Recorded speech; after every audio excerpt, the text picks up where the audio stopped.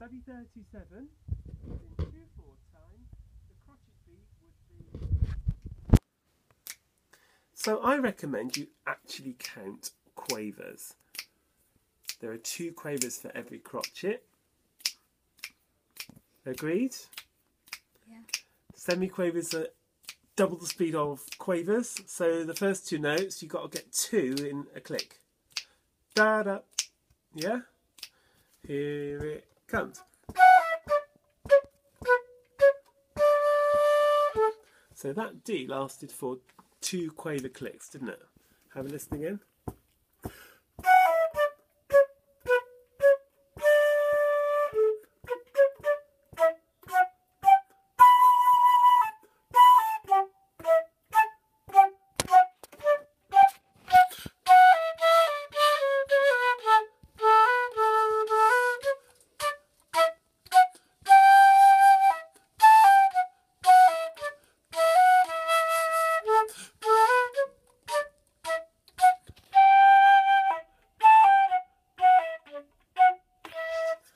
Okay, get the idea.